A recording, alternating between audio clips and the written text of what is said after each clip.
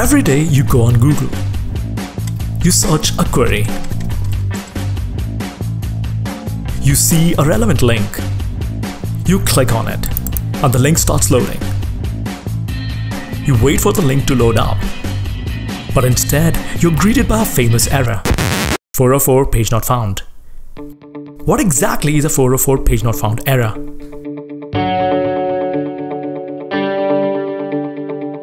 Millions of people use Google each day. As per the website internetlivestats.com, there are over 3.5 billion Google searches per day and 1.2 trillion searches per year. Boy, those are some serious numbers. And many links among these billions of Google search results end up in a 404 error page. But then, what is a 404 error page?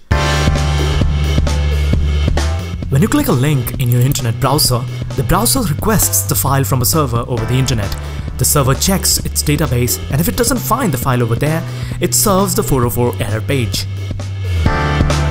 Simply put, 404 page not found error is a broken internet experience. This 404 error is so famous that we have a 404 error day. Yeah, seriously. Similar to Mother's Day and Women's Day, April 04 is celebrated as 404 error day each year. You can really see why. 4 slash 04 and 404. But why exactly page not found is called a 404 error? Why 404? There is actually a popular story behind the origin of 404.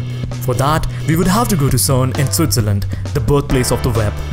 As per the story, back in the day when the World Wide Web was still the internal network of CERN, the central database was located on the fourth floor of a building in room 404. File requests were handled manually, and if the requested file was not found, then the message ID room 404 file not found was sent.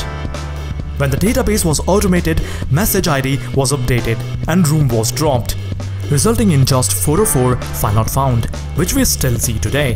What a cool backstory, right? Wrong. This is actually a popular myth, and there is no room 404 at CERN.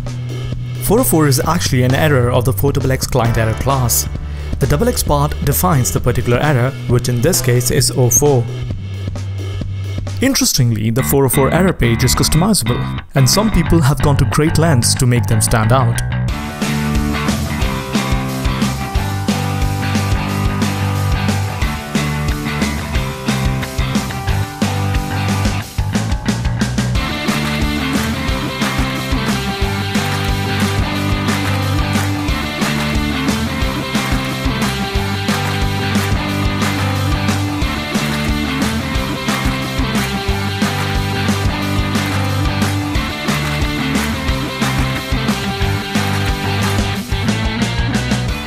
So the next time you see a 404 error page, remember it has absolutely nothing to do with the room at CERN.